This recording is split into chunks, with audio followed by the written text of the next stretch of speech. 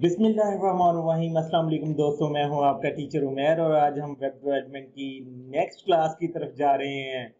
जी दोस्तों तो web development की लास्ट क्लासेस में हमने एच को स्टडी किया और बहुत अच्छी तरह से मेरी कोशिश थी कि मैं एच के एच के मैक्सिमम टैग्स को कवर कर सकूँ।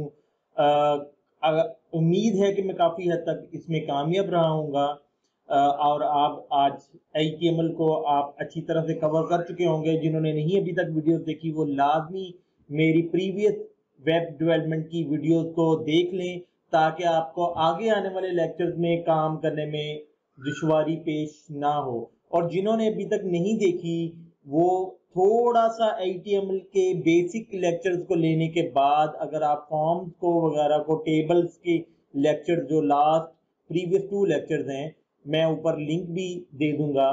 तो वो ना भी देखेंगे तो वो आज की क्लास को फिर भी अंडरस्टैंड कर जाएँगे, जिन्होंने एटलीस्ट सिंपल सी एच को अंडरस्टैंड किया, एक चीज़ दूसरी चीज़ मैं आपको साथ साथ बताता चलूँ कि अब हम करने जा रहे हैं सी एस एस के ऊपर काम। सी एस एस क्या है? एक्चुअली एच जब तक हमने पढ़ी तो आपने देखा होगा, बहुत रफ सा डिज़ाइन और कोई ऐसा डिज़ाइन नहीं जैसा कि आजकल की वेबसाइट्स वगैरह में डिज़ाइन में आप देखते हैं।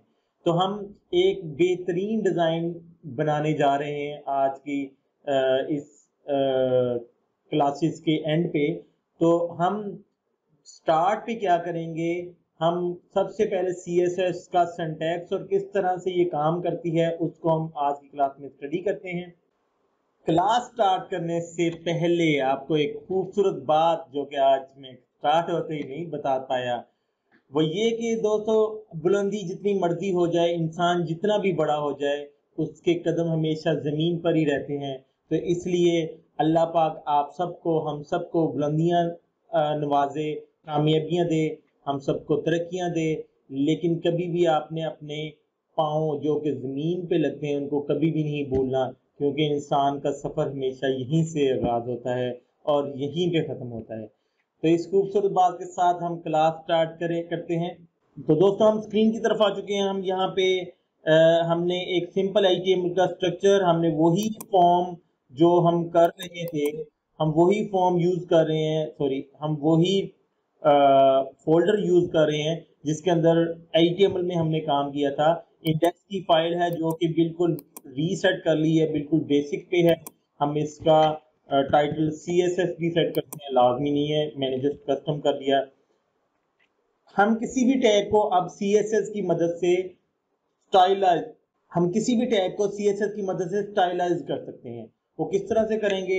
हम यहाँ पे एक टैग लेते हैं एच वन हम इसमें वेलकम लिख लेते हैं और इसको अब हम सी एस एस से स्टाइल करेंगे। अब दोस्तों सी एस एस तीन तरह से कितने तरीके थे? तीन तरीके थे। तो तीन तरीके से सी एस एस लिख सकते हैं हम एच में, या उसको एम्बेड कर सकते हैं कंफिगर कर सकते हैं। First way is inline हम किसी भी, मैं यहाँ पे किसी भी टैग के एट्रीब्यूट में मैं inline C S S लिख सकता हूँ। फ़िलहाल मैं वैसे यहाँ पे शो कर रहा हूँ कि यहाँ पे लिख सकते हैं। इसी तरह से मैं हेड के अंदर लिखूँगा जो सी एस एस उसको कहेंगे इंटरनल सी एस एस और एक अलग फ़ाइल में, अलग फ़ाइल में जाके जो मैं नई फ़ाइल बनाऊँगा, उसको हम कहेंगे external C S S file style sheet की फ़ाइल मैं इसका नाम रख दूँगा स्टाइल या कस्टम शीट स्टाइल शीट नाम रखते style sheet dot C S S या style dot C S S इस अलग फ़ाइल के अंदर जो सी एस एस लिखेंगे वो होगी external C S S inline internal and external अच्छा ये तो थी आ, हमें इन तीन जगहों पर हम लिख सकते हैं। कैसे लिखेंगे? एक्सटर्नल में तो as it is C S S आ जाएगी। अभी मैं लिखने का तरीका नहीं यहाँ पे बताया। यहाँ पे इंटरनल में हम क्या करेंगे? स्टाइल का एट्रीब्यूट हमने देखा था। हमने स्टार्ट पे थी पे। तो स्टाइल का एट्रीब्यूट हम यहाँ पे इस्तेमाल करेंगे, इसके दरमियान में जो लिखी जाएगी सी एस एस वो इंटरनल सी एस एस होगी। यहाँ पे इन लाइन की जगह पर हम एट्रीब्यूट यूज़ करेंगे स्टाइल का। तो स्टाइल के एट्रीब्यूट के इन डबल कोट्स के दरमियान में जो हम लिखेंगे, वो सी एस एस होगी। तो याद रखें, कुछ बच्चे क्या करते हैं आई टी एम एल के दौरान ही इस तरह से स्टाइल का एट्रीब्यूट लगा के उसको कस्टम करना शुरू कर देते हैं और और अपने ही टीचर को कह रहे होते हैं, सर, देखें, आपको तो काम ही नहीं आता, हमने कितनी बेहतरीन काम कर लिया। आप तो कह रहे थे एल के अंदर स्टाइलिंग नहीं होती एम एल तो बहुत रफ्स है। एक्चुअली ये वो inline C S S use कर रहे होते हैं। ये इंटरनल और ये एक्सटर्नल फ़ाइल एक्सटर्नल को आप किस तरह से अटैच करेंगे इस फ़ाइल के साथ? हम यहाँ पे लिंक टैग यूज़ करते हैं। देखिए link relevancy style sheet type H reference ये फ़ाइल हमारे इस प्रोजेक्ट में सेम फोल्डर में पड़ी हुई है। तो मैं यहाँ पे स्टाइल शीट का लिखूँगा। तो देखिए, उसने सजेशन देनी शुरू कर दी। मैं इसको एंटर करूँगा और इस तरह से हमारी एक एक्सटर्नल स्टाइल शीट फ़ाइल हमारे इस एल के फ़ाइल के साथ अटैच हो जाएगी। ये एक एक्सटर्नल सीएसएस को हम एल के पेज से अटैच करने का तरीकाकार बता रहा हूँ मैं। अच्छा यहाँ पे भी अब लिख सकते हैं। अब हमारी बेसिक सेटिंग तो होगी पूरी। इनलाइन भी लिख सकते हैं इंटरनल भी लिख सकते हैं और एक्सटर्नल के लिए ये लिंक जो कि ये फ़ाइल है। अब बेसिक सिंटेक्स क्या होता है सी का? बहुत आसान सा है। क्या होगा? प्रिंसिपल नेम ब्रैकेट्स डालेंगे और यहाँ पे लिखेंगे एट्रीब्यूट एट्रीब्यूट वही है जो हम एच में लिख रहे थे, वही चीज़ हम यहाँ पे और उसकी वैल्यू एट्रीब्यूट और उसकी वैल्यू और इस तरह से डिफरेंट एट्रीब्यूट्स होंगे और डिफरेंट वैल्यूज़ होंगी। ये एक्चुअली सी एस एस लिखने का इंतहाई आसान तरीका है। अब यहाँ पे देखना ये है कि ये प्रिंसिपल नेम क्या है? और ये एट्रीब्यूट्स एंड उसकी और वैल्यूज़ क्या हैं? देखें एक सिंपल से तरीके से ये मैं प्रिंसिपल नेम समझाना चाहूँगा। हमें सबसे पहले ये समझना है कि हम सी एस एस किस लिए कर रहे हैं। हम किसी भी एच टैग को खूबसूरत या स्टाइलाइज्ड बनाने के लिए या स्टाइल क्रिएट करने के लिए सी एस एस कर रहे हैं।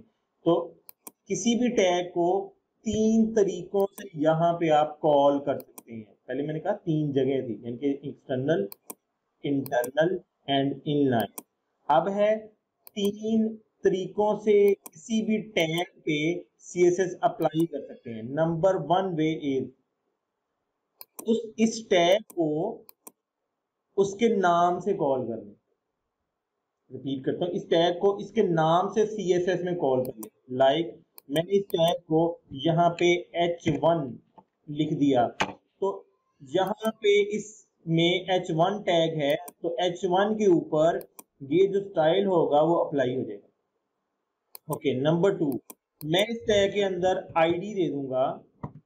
आईडी का नाम ए बी सी कुछ भी दे सकते हैं आप स्पेस के बगैर। तो एक आईडी तो ये जो आईडी है, इसको यहाँ पे हैश के साथ कॉल करेंगे। ए बी सी लिख दिया। इससे पहले हैश लगा देंगे। तो सी एस एस अंडरस्टैंड कर जाएगी that is an I D I D क्या है? जो कि यहाँ पे हम लगा रहे हैं। इसी तरह से हम आईडी ज़्यादा भी दे सकते हैं यहाँ पे। इसी तरह से क्लास ऐड करते हैं। क्लास मैं यहाँ पे लिखता हूँ एक्स वाई जी कुछ भी क्लास का नाम स्पेस के बगैर। मैंने इसको यहाँ पे आया और मैंने यहाँ पे डॉट एक्स वाई जी और इसके अंदर लिख दिए एट्रीब्यूट तो दोस्तों देखा कितना आसानी से हम इसके ऊपर हम आईडी या क्लास या बाय टैग नेम के ज़रिए से सी एस एस अप्लाई कर सकते हैं। अभी इसको कुछ नहीं हुआ, क्योंकि ये एट्रीब्यूट मैंने जस्ट डमी लिखे आपको शो करवाने के लिए। अब मैं आपको ये तीन चीज़ें तो उम्मीद है कि आपको समझ आ गई होगी। हम बाई टैग नेम या बाई आईडी या बाई क्लास इन तीनों तरीकों से एट ए टाइम भी अप्लाई कर सकते हैं। ये ऐसी है, जैसे कि आप पाकिस्तान में रह रहे हैं, या किसी कंट्री में रह रहे हैं तो वहाँ पे जो, वहाँ का रूल्स हैं, वहाँ के, वो आप पे अप्लाई होते हैं, वो आपको बाई नाम नहीं पुकारेंगे। That is called a class आप एक पाकिस्तान नेशनल क्लास हैं, ठीक है? आईडी का क्या है? आईडी कार्ड नंबर आपका आईडी कार्ड नंबर हो सकता है, आपकी आइडेंटिटी हो सकती है, आप कैसे पहचाने जा रहे हैं। और आपका नाम हो सकता है, आपकी शख्सियत हो सकती है, नाम हो सकता है। तो जिस नाम से आप जो है वो कॉल कर रहे हैं, वो नाम जो है वो आपका इम्पोर्टेंट होगा। ओके तो ये तीन चीज़ें हैं। अब क्या होगा, अब हम इसके ऊपर अप्लाई करते हैं आईडी या क्लास क्लास को हम क्या करते हैं, मैं फ़िलहाल एक अप्लाई करता हूँ ताकि आप कंफ्यूज ना हो। मैं बाय नेम टैग नेम भी नहीं करूँगा, मैं ये रिमूव कर देता हूँ। और क्लास में मैं एट्रीब्यूट यूज़ करता हूँ। मैं लेट्स सपोज़ कलर यूज़ करता हूँ उसका। कलर तो मैंने एक्वा कलर इसमें फ़िलहाल दे रहा हूँ। मैंने इसको ओपन किया। तो देखें ये जो है वेलकम का कलर चेंज हो गया। मैं इसमें बैकग्राउंड भी देता हूँ। एक और एट्रीब्यूट ऐड करना चाहता हूँ बैकग्राउंड का।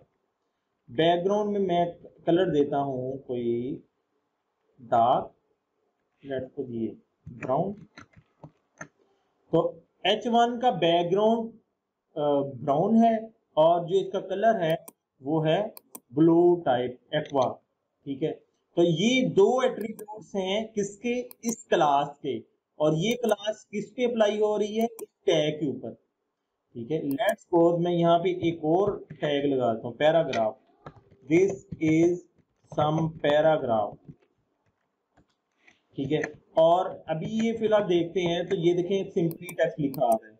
मैं इसमें क्या करता हूँ? मैं इसमें क्लास ऐड करता हूँ और क्लास का नाम लिख देता हूँ एक्स वाई जी तो जब मैंने क्लास का नाम लिखा तो इस पे भी वही रूल अप्लाई हो गया जो कि इस पे था।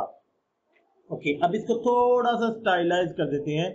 इसमें साइडों से, अभी मैं बेसिक चीज़ें बता रहा हूँ इसमें कुछ डिटेल अगर आपको कंफ्यूज करेंगी तो वो हम लेटर ऑन स्टडी करेंगे। साइडों से स्पेसिस क्रिएट नहीं हो रही, ऊपर नीचे स्पेसिस। तो मैं क्या करता हूँ, मैं इसके अंदर पेडिंग ऐड करता हूँ। पेडिंग। पेडिंग में फ़िलहाल सिक्स पिक्सल के राउंड बोर्ड पेडिंग ऐड करता हूँ। तो देखें ऊपर नीचे से पेडिंग ऐड होगी, थोड़ी सी और टेन पिक्सल तक ले जाता हूँ। टेन पिक्सल तक पेडिंग ऐड कर दी।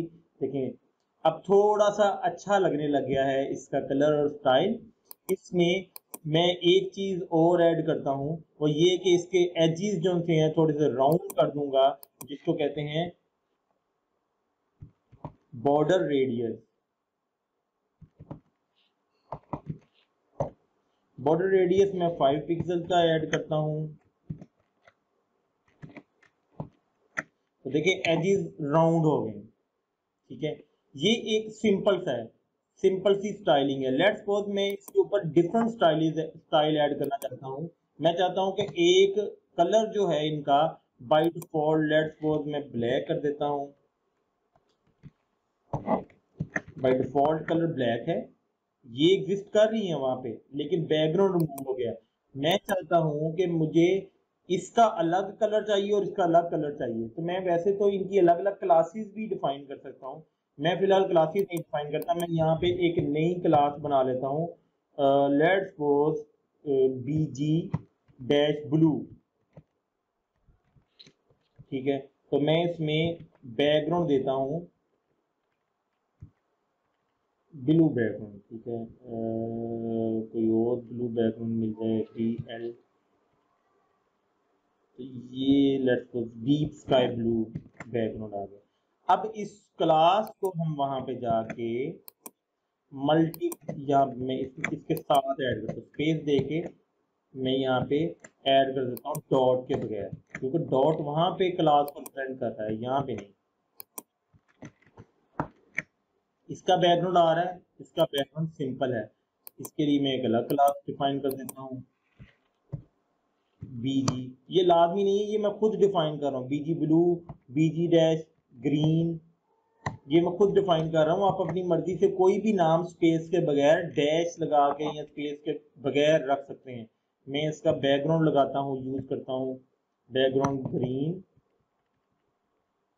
लाइट ग्रीन वैसे ये फ़िलहाल मैं कोड नहीं यूज़ कर रहा नॉर्मली हम कोड यूज़ करते हैं इन कामों के लिए। और इसको हम क्या करते हैं? इसको हमने क्लास इसमें ऐड कर दी। कुछ इस तरह से डॉट के बगैर।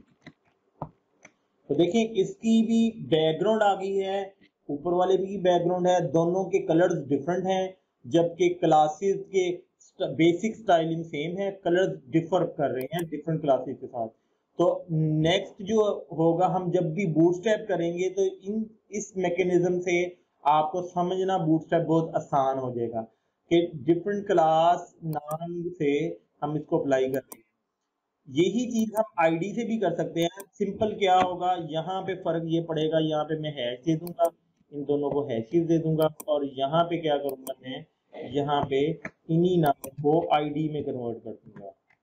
आईडी एंड इसको भी यहाँ से रिमूव करके, क्योंकि आईडी के लिए यहाँ पे अलग लिखना पड़ेगा। ग्रीन तो ये ठीक है? कोई फ़र्क नहीं पड़ा। तो ये दो तरीके हैं तो दोस्तों, आज की इस क्लास में हमने पढ़ा कि किस तरह से सी एस एस की कंफिगेशन होगी। Inline internal and external C S S कैसे होती है और इसी तरह से क्लासेस कैसे डिफाइन की जाती है या आईडी से कैसे किसी भी आई के एक टैग को अप्लाई कर सकते हैं। बहुत आसान वे में मैंने समझाने की कोशिश की है। मेरे साथ रहिएगा, मुझे दुआओं में याद रखिएगा। अपना बहुत बहुत ख्याल रखिएगा। अल्लाह हाफिज़।